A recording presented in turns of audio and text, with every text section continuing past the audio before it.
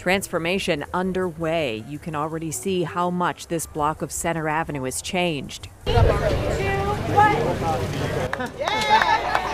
latest part of the New Granada Square includes the cultural and performance space. The historic New Granada is arguably the most important development that the Hill District can see.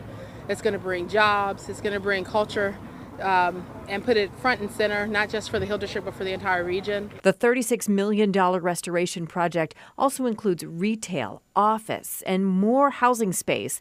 The Hill Community Development Corporation has Pittsburgh partners. But we are so excited to uh, have the University of Pittsburgh as a partner, as well as all of our funders, um, both locally and nationally. And so, you know, this is this is um, going to be the signal that the Hill District will return. The theater building will include a cultural stage.